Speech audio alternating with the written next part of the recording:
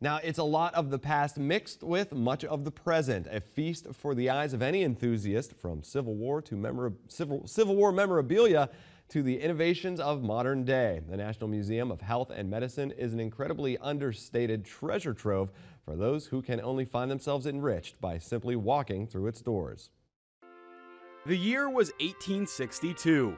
Surgeon General William Hammond ordered Union Army medical officers to collect specimens from the field for the Army Medical Museum. Museum's mission is to preserve, collect specimens of morbid anatomy and medical technology, tools and uh, artifacts that will understand, help us understand the care of the soldier and to raise awareness in the interest of the history of medicine, especially American military medicine.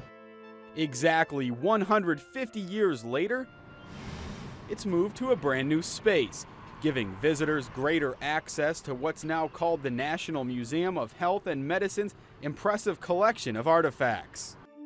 The museum's 25 million object collection. One of three galleries, the collection that teaches, impresses Civil War teachers and students with an extensive display from the Civil War era, bullets and shrapnel to the bullet path in this skull of a 54th Regiment Massachusetts infantry soldier. We see and are very specially grateful to have the attention of the military service member and their family, the retiree, the veteran from all over the country. It boasts presidential pieces like the bullet that killed President Lincoln and part of a bloody sleeve saved from Lincoln's last hours. There's the vertebrae showing where the bullet pierced President Garfield's spine and cross sections of President Grant's throat, which was infected with cancer. We have something for just about everybody here. You'll find the skeleton of the first chimp and one of the first monkeys in space.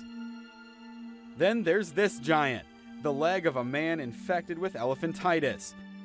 A lung shows the effects of smoking, and a heart scarred by congestive heart failure. And if you want to see brains, the Anatomy and Pathology Gallery has got them. It's also home to organs, showing the effects of trauma, and skeletons showing stages of development. Medicine is important to the military. It's important to care for and treat and improve the health and well-being of the active duty service member, but military medicine is important to the nation.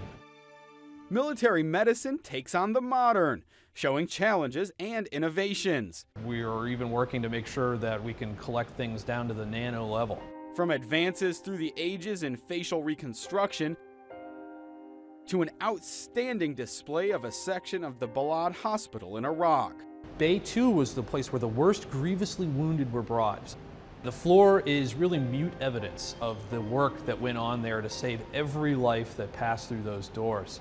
The uh, chips in the floor show the gurney legs being kicked into place. The dark stains are the blood stains of the persons that were treated on that floor. The yellow stain shows the antiseptic used to prepare that wound site for treatment.